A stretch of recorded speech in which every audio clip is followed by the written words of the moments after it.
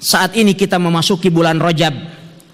Dan kita banyak sekali mendengarkan atau menerima pesan-pesan melalui jejaring sosial atau sarana dan fasilitas lainnya yang menjelaskan tentang keutamaan-keutamaan di bulan Rajab atau menjelaskan tentang adanya amalan-amalan tertentu yang memiliki fadilah dan keutamaan yang bisa dilakukan oleh seorang muslim di bulan Rajab maka ketahuilah sebagaimana dikatakan oleh Al-Hafidh Ibnu Hajar rahimahullah.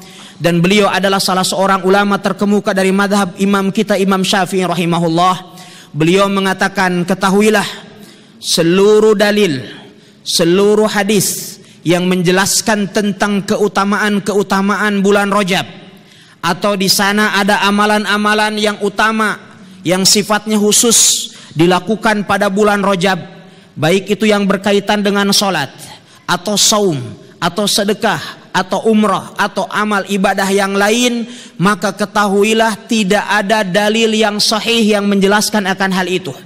Tetapi seluruh dalil-dalil yang menjelaskan tentang adanya amalan-amalan khusus di bulan Rajab semuanya hadisnya palsu atau sangat lemah sehingga tidak dapat dijadikan sebagai hujah dan argumen untuk mengamalkan amalan-amalan tersebut.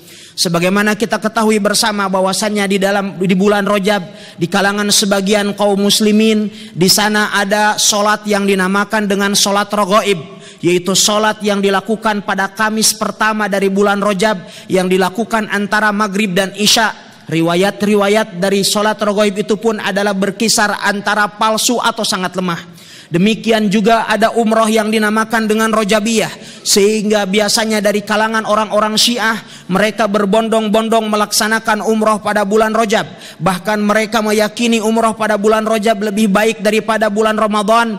Ini pun tidak memiliki dalil yang sahih. Demikian pula berkenaan dengan melaksanakan saum di dalamnya atau sholat tahajud atau lain sebagainya bahkan perayaan Isra dan Mi'raj maka semuanya itu tidak memiliki dalil-dalil yang sahih dari Al-Quran atau juga dari sunnah Nabi Sallallahu Alaihi Wasallam.